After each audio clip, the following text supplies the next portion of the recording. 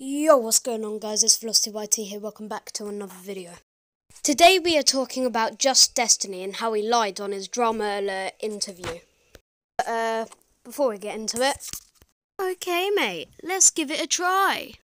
Guys, today we are talking about Just Destiny and how he lied on his Drama Alert interview.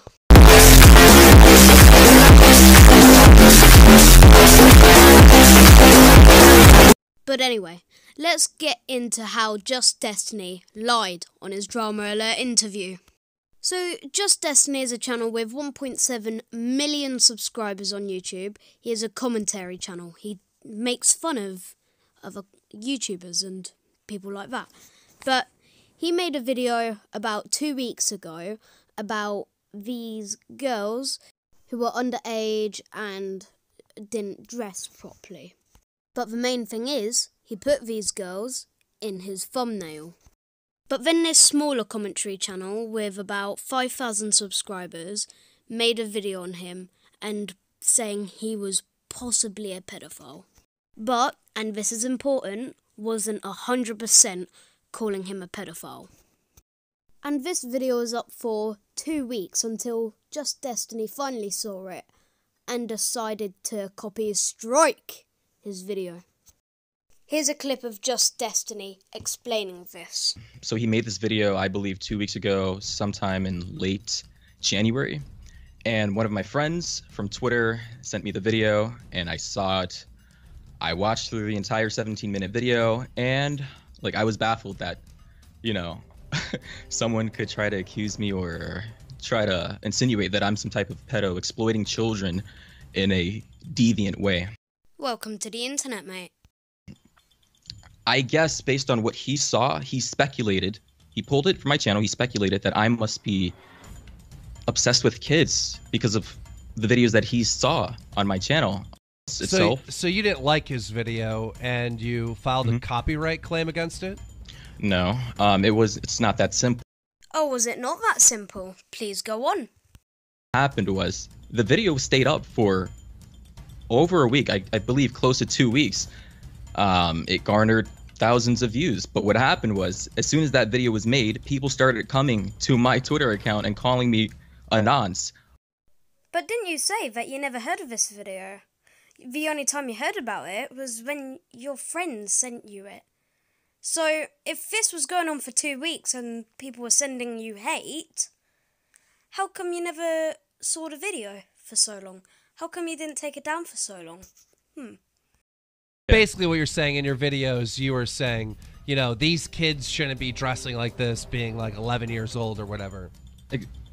Exactly, and I would bring other points into these videos, but he didn't include that in his video. But he wasn't wasn't Lieutenant uh, Cobra's mm-hmm. point was that you are mm-hmm. using this stuff, you are using these young kids in your thumbnail, and as a subject matter, no, knowing you would get a lot of views. Uh, like you were using these kids for clickbait. First of all, if that was his point, then it makes no sense because, for one, inherently YouTube YouTube videos or the thumbnails itself, they're clickbaity in general. Like you want audiences or viewers to click on your uh your videos. That's not the point Keemstar was trying to make, though. Why are you putting underage girls in your thumbnail? It may relate to the video and it may be clickbait but they're underage. And you must have known while making that thumbnail that's going to attract some weird people. So you didn't sexualize these children. So you didn't like the opinion that the 15-year-old YouTuber known as Lieutenant Cobra had about you. So you filed a copyright claim against it to take down his video. Um. Okay. So what happened was, the video was made. You know, his fans or viewers came to my Twitter, started harassing me, calling me a pedo, and all that stuff. Yeah.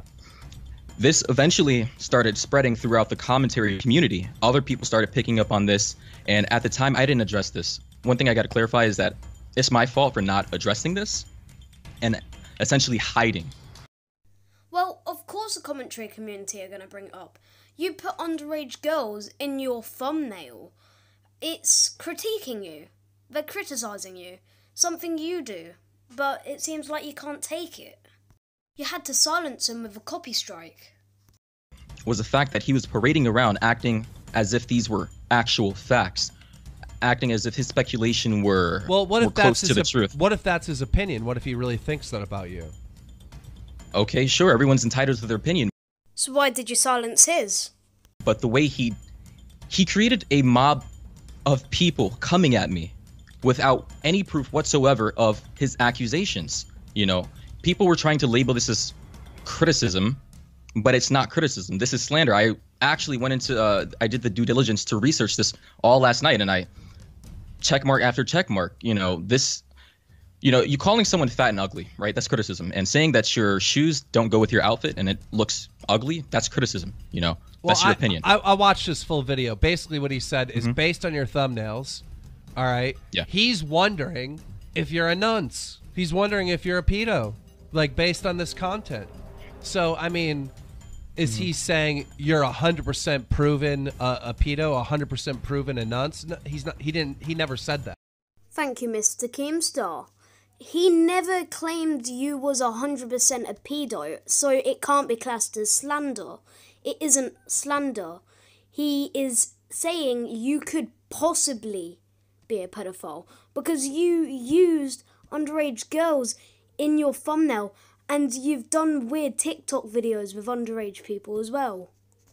I can't believe you can't see what's wrong with using underage girls in your thumbnails. You filed Mm-hmm. a copyright claim on his video. Well, Talk about that. Why? Why did you do that? um, for harassment, for slander. Okay, but you can't you can't for him- file you can't file a copyright claim against somebody I- for harassment or slander. You have to only file a copyright claim if you believe that you own that content. Do, do you own the content that, that Lieutenant Corbett uh, uploaded to his channel? See, this is this is a very nuanced situation. I obviously do not own the entire 17 minutes of the um the video. One, this shows that this was complete abuse of the copyright system here on YouTube. And that's it. Video done. Like he's just said it. He doesn't own the whole 17 minutes of the video. He shouldn't have copyright striked it. But anyway, that's all I'm going to say for this video. It's got a bit long now. I don't want it to be 10 minutes. But if you want to see a part 2 to this video, because I still have some more things to talk about, please leave a comment down below. If you would like this video, please leave a like. Um, if you want to see more content like this, subscribe. Make sure you have bell notice on so that you never miss an upload. Also, make sure not to press it twice, otherwise, you only receive occasional notifications. And I will see all of you in the next video.